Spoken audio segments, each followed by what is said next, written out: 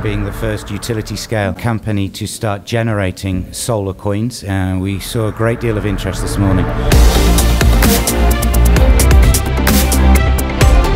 SolarCoin is a reward, a reward currency for the generation of solar energy. Cryptocurrency that is awarded to the producers of solar energy for free. Here is another way of accelerating the deployment of renewable energy fast. Solar power was the most suitable for that because the barrier of entry is probably the lowest. What is really important, we are trying to grow this ecosystem.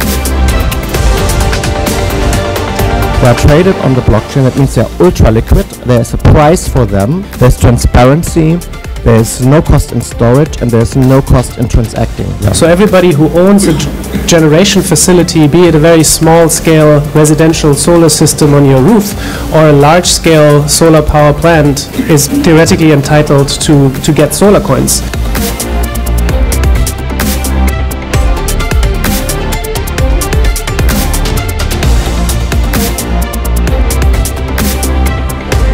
We are really delighted to now crystallize this project that we've been working on for quite a while uh, by awarding the EPC contract to Chint.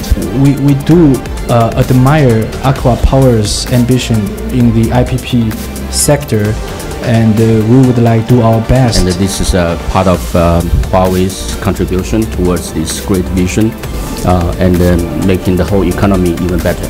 You know, we're moving really quickly to digitalize our operations.